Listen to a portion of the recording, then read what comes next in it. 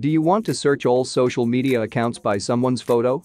It could be very handy and helpful if you are looking for someone you have their picture. Search for facecheck.id and go to this link. The link is in the description also. Now browse and select the photo. As demands are high you might have to wait in a queue. Now it might take some time depending on the queue. Then it will search through faces and then download and provide you the links. Here you can get YouTube, IG, LinkedIn, TikTok, Wikipedia, blog, and other social media or web links that have the same face in them. You will get his or her all social media links and also if somebody had videos and images about them or with them.